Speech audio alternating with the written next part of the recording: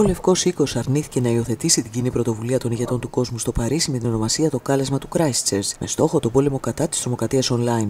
Η Ουάσιγκτον τονίζει ότι υποστηρίζει μέτρα ενάντια στη ρητορική του μίσους και της βίας, αλλά δεν εκρίνει την πρωτοβουλία της Πρωθυπουργού της Νέας Ζηλανδίας Τζασίντα Άρτεν για μέτρα στα μέσα κοινωνικής δικτύωσης. Το κάλεσμα του Christchurch είναι ένας οδικός χάρτης για δράση και είναι ευχάριστο που βλέπουμε τη δήλωση πέντε μεγάλων εταιριών τεχνολογίας να δεσμεύονται σε ένα σύνολο ατομικών δράσεων και συνεργασίας. Αυτή η πρώτη ανάλογη δέσμευση των εννέα σημείων θα οδηγήσει, ελπίζω, στην αλλαγή της κατάστασης και θα βοηθήσει στην εξάλληψη της τρομοκρατίας από τις πλατφόρμες τους. Στη σύνοδο την οποία φιλοξένησε ο Γάλλος πρόεδρος Εμμανουέλ Μακρόν, οι Αμερικανικοί τεχνολογικοί γίγαντες από τη Microsoft ως την Google και την Amazon υποστήριξαν την πρωτοβουλία Τσαντέν, ενώ το Facebook ανακοίνωσε βήματα για να μπλοκάρει τους χρήστες που αρεβιάζουν τους κανόνες της μετάδοσης βίντεο online.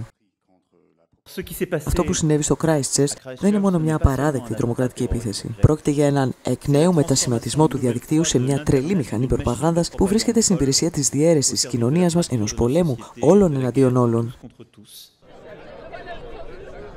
Μεταξύ των χωρών που στηρίζουν το κάλεσμα του Christchurch είναι η Γαλλία, η Νέα Ζηλανδία, το Ηνωμένο Βασίλειο, ο Καναδάς, η Ορδανία, η Νορβηγία, καθώς και η Ευρωπαϊκή Ένωση. Πολλές άλλες χώρες που δεν συμμετείχαν στη συνάντηση εγκρίνουν την πρωτοβουλία αυτή.